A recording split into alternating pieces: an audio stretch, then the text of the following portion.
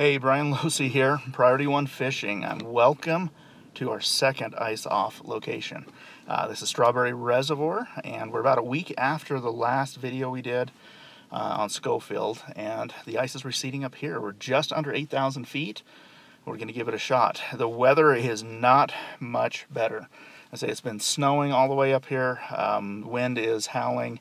Uh, it was a little lighter uh, a few minutes ago, 5 10 mile an hour winds, but it's ramped up. I think we're 15, 20 mile an hour winds now. So um, we're going to give it a shot. We're going to see if we can put a few fish on camera there for you. We're going to try a couple of different techniques, some slip float rigs this time. Uh, didn't get to do them last time. And uh, we're going to talk about that marabou jig a little bit more and some of the gear and tackle that we're using uh, to catch these fish. So hopefully a few fish on camera, a few more on camera than last time. I did bring the windscreens for the cameras this time, so we should have some audio that we can uh, we can use and uh, should be able to make a good video for you. So stay tuned. Catching a cutthroat here, maybe some rainbows. We'll find out. Strawberry Reservoir, ice off conditions. Let's get out. Let's catch some fish.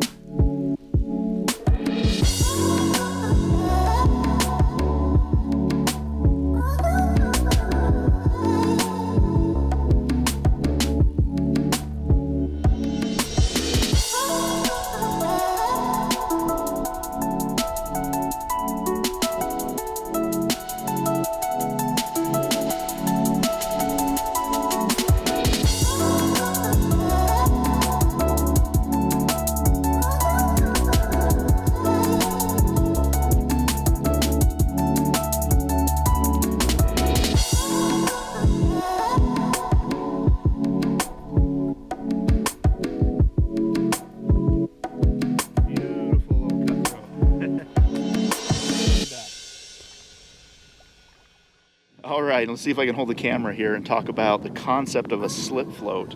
So as you saw, we caught a fish just a moment ago on that slip float rig, and it can work really well when you've got moderate amounts of wind. I mean, we got about a, a five, six mile an hour wind right here. I mean, it's snowing, it's cold out here, but uh, that wind is helping us with the slip float rig. So it's uh, something similar to what you see a lot of anglers use for panfish applications.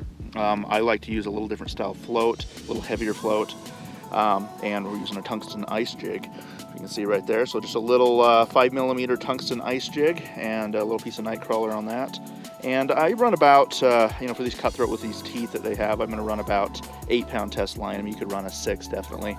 Um, but I like to have a little more knot protection, a little bit more line protection there from their teeth uh, with that diameter. And then I'm using this uh, Little Joe pole float and this one is a weighted float. This one has a half ounce weight, uh, kind of a counterweight down towards the bottom so that it stands straight up and it's got a high vis uh, detector. And the reason I like the pole floats is uh, surface tension. I mean, you can see these are only about maybe uh, 5 eighths of an inch around or thick. And uh, having that small diameter actually helps with those fish break the surface tension when they pull the float under the water. Now this float is uh, free sliding up and down the line. So we can get it here. Yeah, see it slides right down to the jig so it makes it easy to cast. And then to control my depth, we're using a little thread stop right here. So that thread stop is just a little uni knot um, with some, you know, heavy uh, cotton thread and or Dacron, yeah, and we can tie that down on this line and hold it on there pretty tight, but we can move it to adjust our depth range and control uh, where our jig is positioned at in the water column. Now to prevent that uh, float from going over that knot, I have a small bead right here as well. So as you build the rig, you're gonna tie on your knot, you're gonna slide on a bead, you're gonna slide on the pole float, and then tie in your jig and adjust your depth. So let's see if we catch a few more fish out there, and we'll talk a little bit more about uh, some other uh, tips, uh, techniques that I'm using with the uh, marabou jig as well here in just a moment.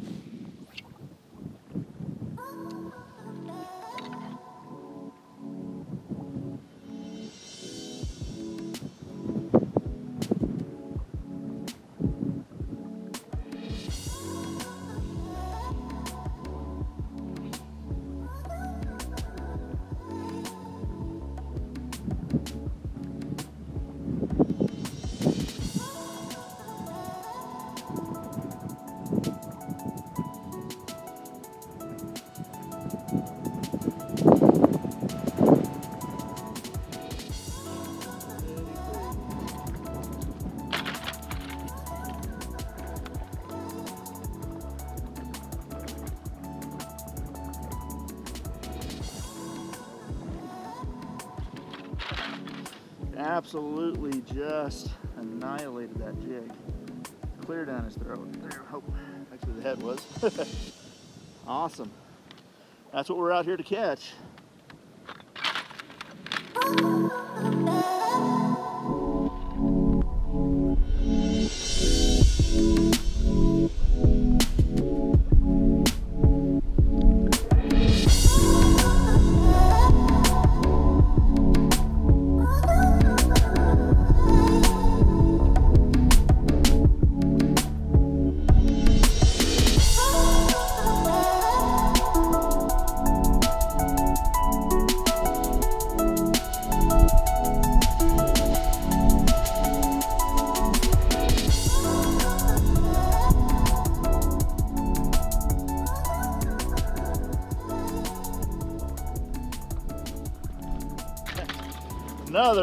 Cutthroat. Oh, I hope this audio comes out and this, this wind. Just like our last trip. This wind is a howling, but that's what's getting those fish to eat. And we're getting some nice ones.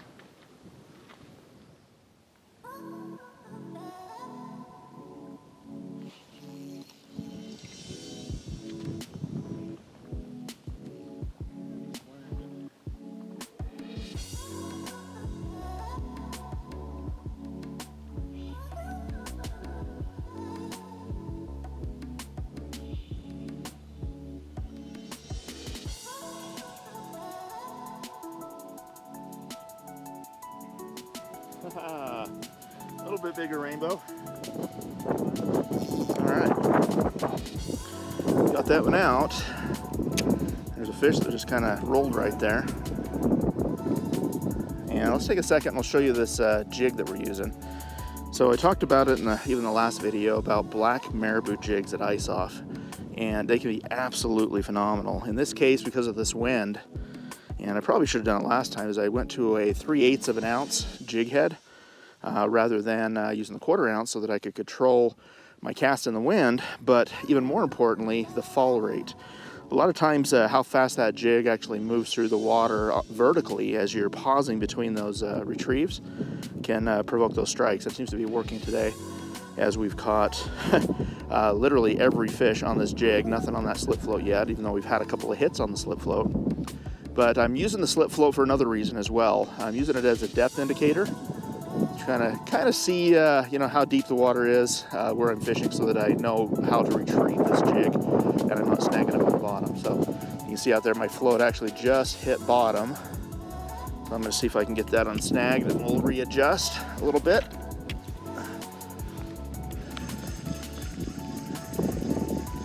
Yep, so an indicator on that float when it hits the bottom like that is it'll just lay flat or a lot of times with this wind it'll just go underwater and just kind of sit there horizontally.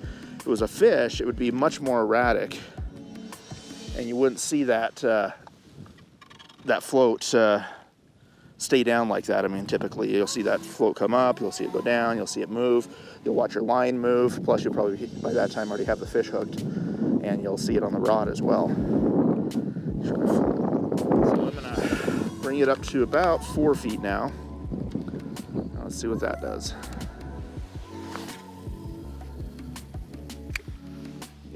There, roll my slack a little bit. This wind does make it a little bit different, difficult. Um, and uh, normally on a, like in a windy condition like this, I'm going to be casting with the wind. Now we're fishing kind of crosswind on this, kind of covering an area with the drift on that float, but it's, uh, it's, it's putting a belly, it's putting some slack in the line, and making it difficult when we do get that, those strikes to pick up that slack line to set the hook on the fish. So we'll just kind of watch it, we'll see what it does. But depth indicator, I know that about 40 feet out there, it's going to be, oh, about four and a half feet deep. So my retrieve's gonna be a little quicker in this area, I think, than what it has been in the other areas with that 3 8 ounce head. And the other thing I could do is I could switch it up to that quarter ounce head and uh, probably not have to worry about it too much. Now, this is a reactionary type of response. I mean, yeah, it looks like food to the fish, but you're moving it relatively quick, and these fish don't have a whole lot of time to see it before they strike it.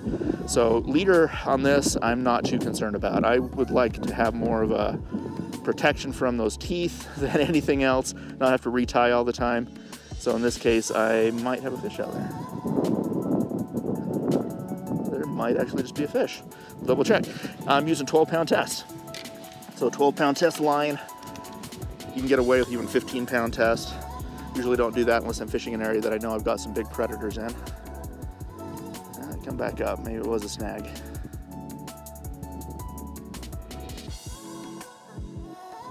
Yeah, we'll keep an eye on it. We'll keep an eye on it.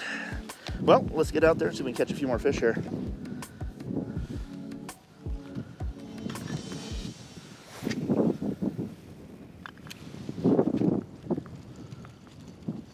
That wind is just ripping it. There we go. Finally made contact with the jig. You see, I'm trying to keep the rod tip somewhat high, but I'm also trying to keep my line under the wind. So I'm keeping it about 10 o'clock position right here. Normally be fishing about 11 or 12 o'clock position with the rod tip. And I'm retrieving my slack down and then popping that jig about three feet or so on that retrieve. Every time I hesitate, you'll see that most of the strikes I get are gonna be on that hesitation when that, that jig drops. And this fall rate with this 3 8 ounce jig head, it falls pretty quick. Sometimes that that dive right down into the water, down towards the bottom, those fish just react to it. So that's how I fish the jig for uh, ice off strawberry. In general, I mean, most trout, most lakes you catch trout in, this will work really, really well for you. You may even adjust all the way to an eighth of an ounce depending on uh, how those fish are reacting to it. Let's see. It is just a ripping now. It started out about 5 or 10 mile an hour, and I think we're up around 15 mile an hour winds.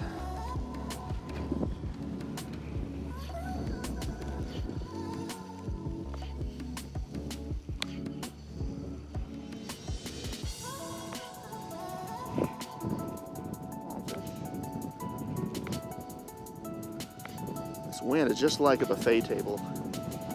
We might be a little too far inside the point here, but if we need to, we'll move out just a little bit.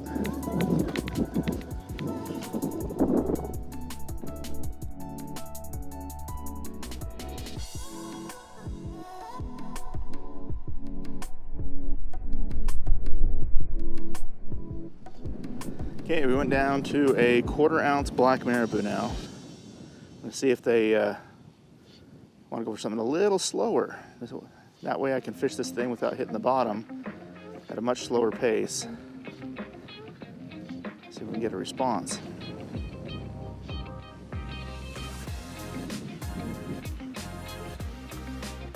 It's also a little bit different style jig. This one has a 60 degree angled eye on it. It's a product made by VMC. And it's got more of like a swim head, I guess you could call it, versus a, a vertical eyelet. So it rides a little different when you apply motion to it.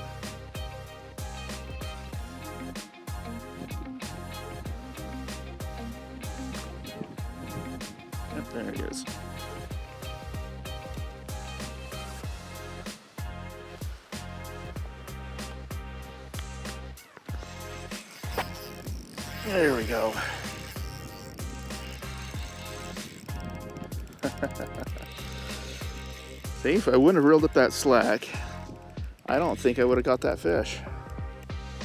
What makes this uh, crosswind just a bit difficult with slip flows. You just got to keep up on that line. I think we hit him fast enough. I don't think he swallowed it. But you can see, I don't know if you can see that on camera, how fast that float went under how easy it went under. Just a little rainbow. Right in the nose.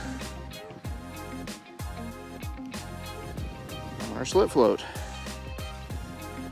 Awesome. Beautiful little fish. Lots of pink. All the way up on his gill plate. Awesome, awesome. Go back and get bigger. All right, let's get a little bit more worm. Some of the areas that I look for, other than uh, wind-blown points, when I'm targeting uh, trout ice off, is I look for these little bays, these back eddies, these, these areas where you get that current kind of mixing around with that wind. Kind of creates this uh, own lake inside of a lake, or some would call it spot on the spot, and it it works with the cyclic patterns of these trout. I mean, yes, we're fishing off the edge of this, and that might be some of the issues we're seeing with inconsistency and seeing fish moving, but we're close enough to that bay, I think we're we're still picking up on those those edges. And when I say cyclic patterns, I mean these fish are, are moving in here just like they would in a river system. They're working a pattern and they're less likely to change depth on that pattern than they are to just change direction. Oh, my line. Joys of wind. so those patterns, all you really need to do is you just got to stay kind of in the zone where those fish are moving. And eventually you're going to see those fish come back around. Now, if you can find truly the spot on the spot, those fish will cycle about every 10 minutes. And then as an angler, I mean, you don't really have to, you know, worry about catching fish as much as you have to worry about keeping fish in the area with your attractors, your lures, your, your bait, your scent, whatever it may be that's keeping those, those fish kind of curious and you'll have another group of fish stack on them and then another group fish stack on them. Eventually, you end up with a lot of fish in the area that are all competing for the same food source. And you end up with a competition response even more than a food-based response. And those fish, uh, I mean, you just you watch those fish numbers and those hook ratios and catch ratios just go up and up and up. That's where you, you hear about people catching, uh, you know, 70, 80 fish out on this lake. I mean, it's not uncommon to see that. Just, it's all about timing and location and then getting your bait in the right spot. So we're close. We found a good area. And these areas are pretty consistent throughout the year. You can catch fish in these areas all year long. Different techniques, different tactics. Fly rods, real popular fly rod destination out here too. Fly fishing destination produces a lot of nice fish.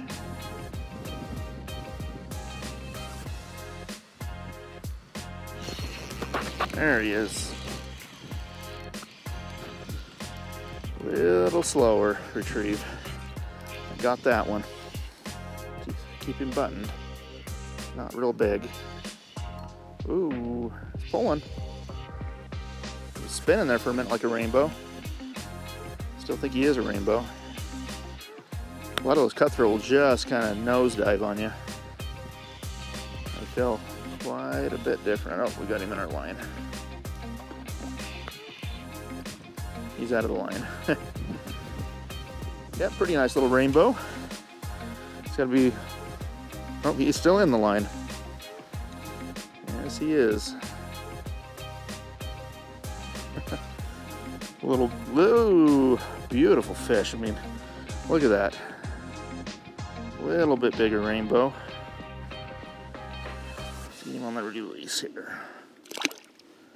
There he goes. Awesome, awesome fish.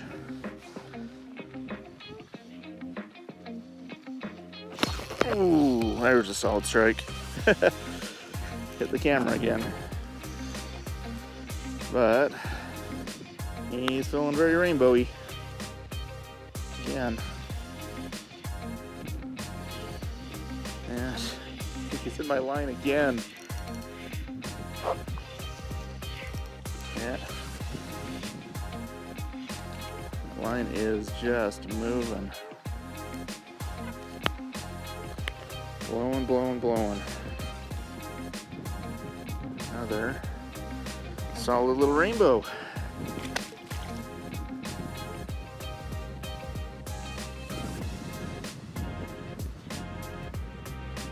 See it. Oh, there he is. Ready to say you can see the ice uh, receding in the background. This bay's really opened up with this wind. Probably 300 yards to the edge of the ice. Hey, I didn't catch my line this time. We're just hitting rainbows. But it is fun. Look at the spots on that guy. Tons of spots on that one.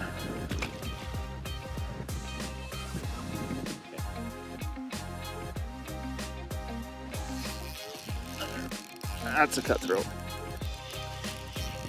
Ooh. That's a cutty.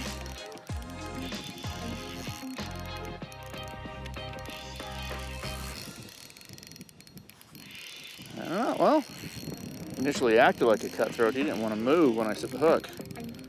He still might be. He's got a lot of head shakes now.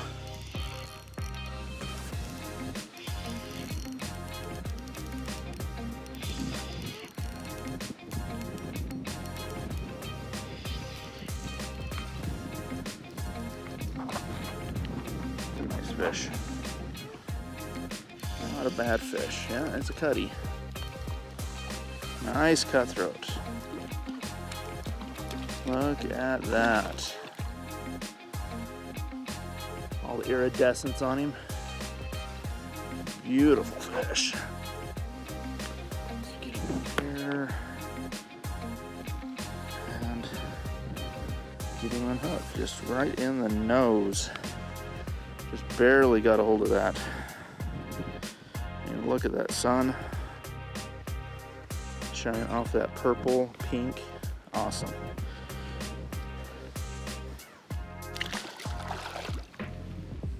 Gorgeous fish. There we go.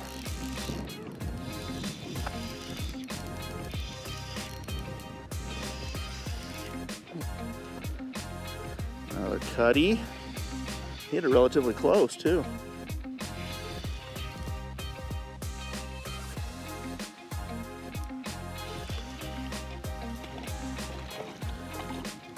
Fish.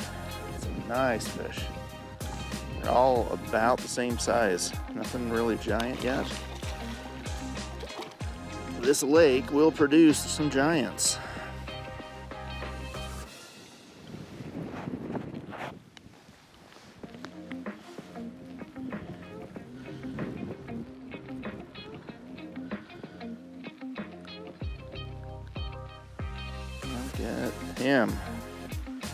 Just so beautiful. Look at that. I mean, just some crazy spots on him.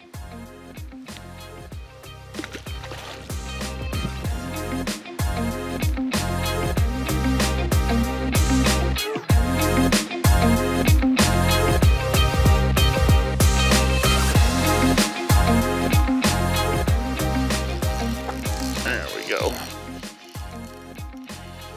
Pick that up on the fall.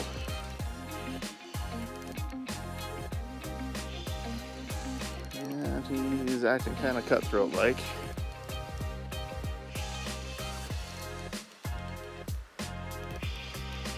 And we got another fish.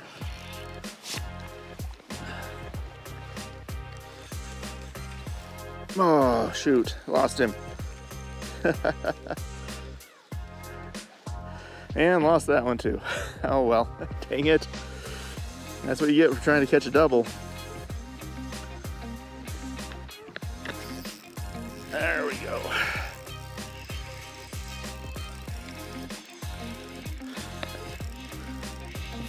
Didn't wait too long on him. It was down for quite a while.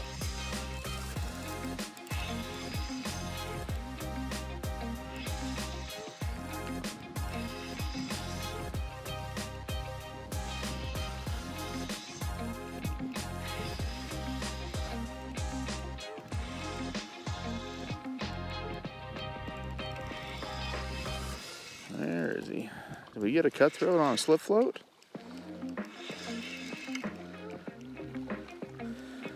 We did. Awesome.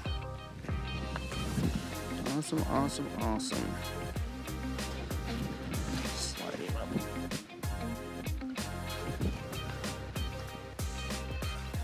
And we did not wait too long. Awesome. Right in the corner of the mouth beautiful like halo spots on this one. Almost kind of a tiger trout like. oh. There you go.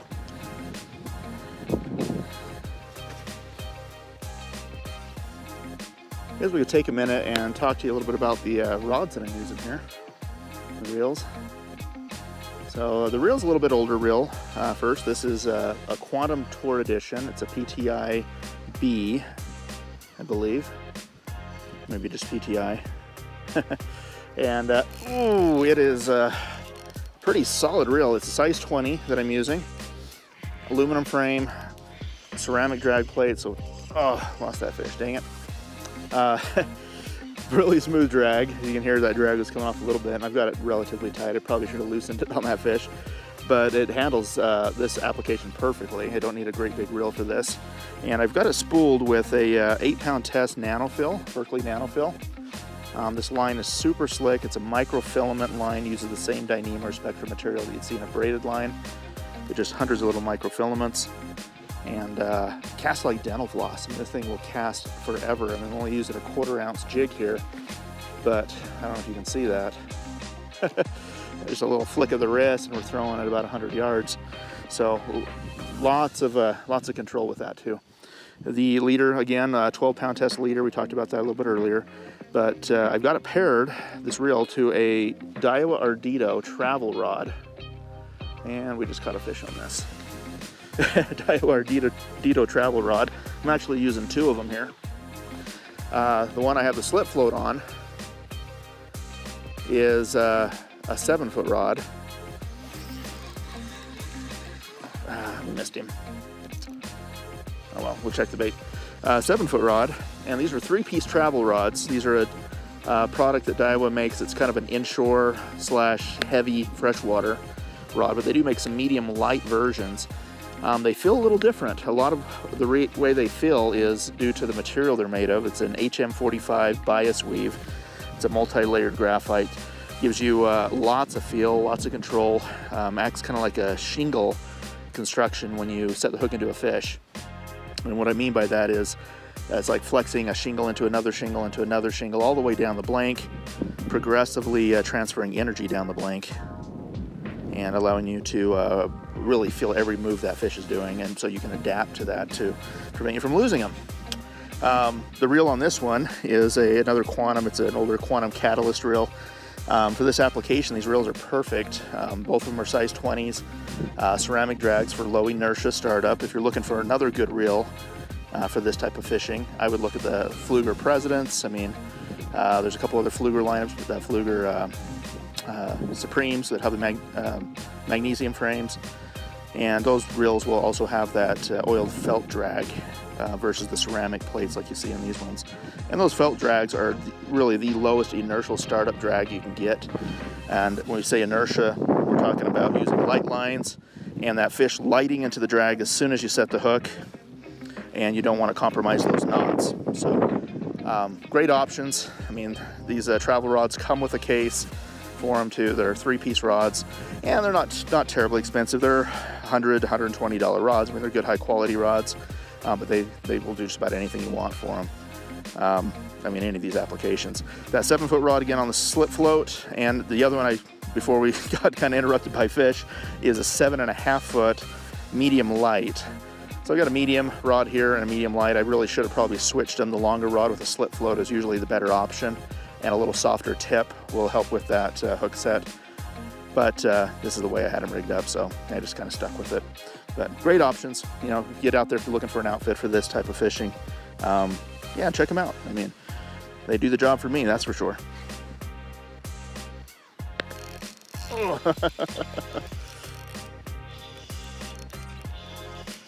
there he is. Nothing quite like getting another fish on the very next cast. Scrappy little rainbow.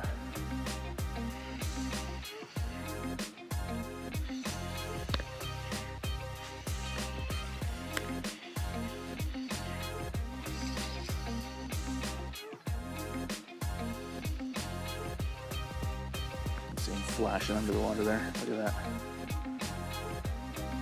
Just beautiful. Silver, pink, all colors of the rainbow. Purples, blues, gorgeous fish. Greens on the back.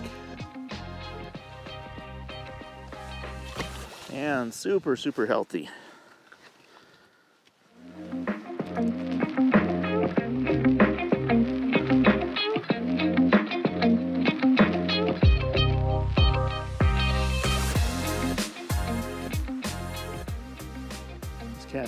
It's going to be a fish cast.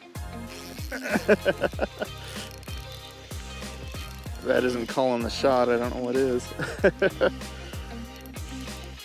that cast just felt fishy. And this guy confirmed.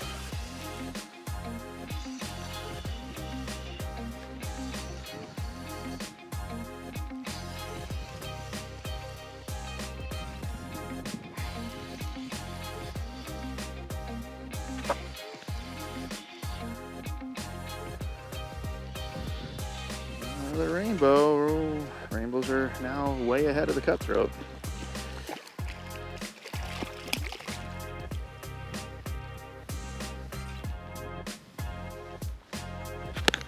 And that fish uh, decided to change it up. So we got him. And on the uh, bottom of the mouth, either that or it slipped while we are fighting him. There you go. There you go. There we go. On the slip float. You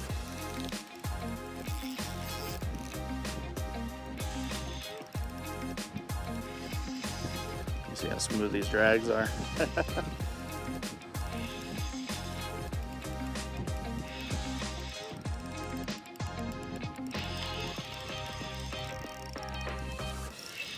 Fish feels pretty good.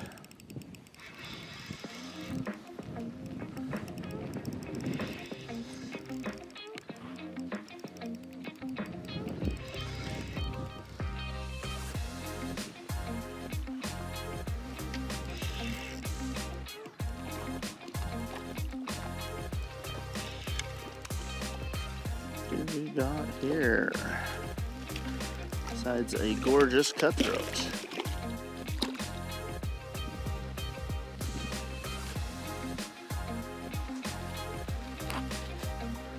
Yeah, see the trick with these uh, slip floats is really keep your eye on them. And you won't ever have to worry about a fish swallowing the hook. I mean, look at that.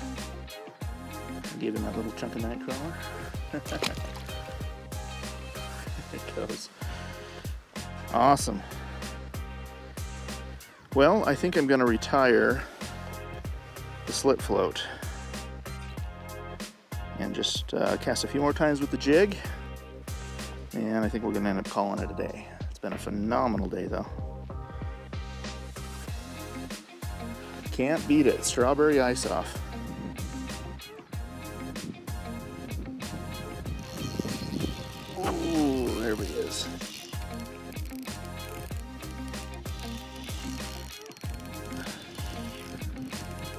Bad fish. Might be about the same size as the others, but he put the brakes and stopped that jig in its tracks.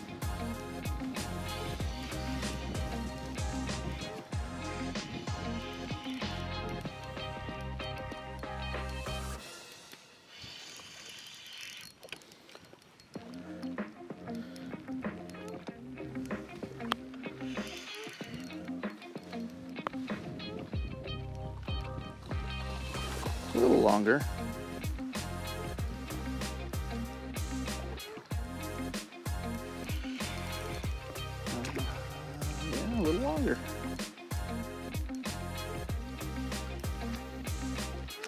Great big spots on this one.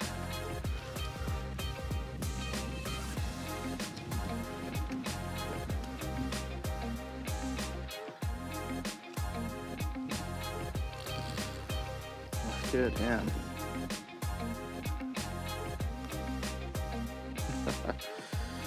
now that is what I a fish to end on. Right there. That is a very nice cutthroat. Pushing 20 inches. Gorgeous big dark black spots. Orange fins. Can't say enough about it. Strawberry Reservoir Ice Off. it's only gonna happen for a few more days, I think. All right, so there you have it. Uh, what a phenomenal day. Ice off again, second trip this year. Hit two different lakes, Scofield here just a week ago. Now Strawberry Reservoir. So I don't know if you can see behind me, ice is receding, so you don't have much time. You should get out here, you should catch some fish. Uh, it is awesome, as you've seen, we got quite a few cutthroat, uh, quite a few rainbows. Uh, so the only thing, only thing I can think of is these rainbows are coming in because they're mock spawning, these triple eight rainbows. And they're up in here on these uh, gravel and sand flats and kind of intermixed with those cutthroat. But uh, we did catch quite a few rainbows, more so than we did cutthroat, but we got some nice cutthroat as well. Um, and it's, I, I, don't know, I lost count. Maybe you were counting, you saw all those on camera. Um, but phenomenal. Nonetheless, you don't need a whole lot of gear. Um, say I wanted to bring a fly rod down, the wind just wouldn't let me do it. It was just a rough, windy, windy day. And we started out with snow, started out with wind. Now we got sunshine and the clouds were starting to peel away. But uh, the jig produced. So we uh, stuck with that black marabou jig.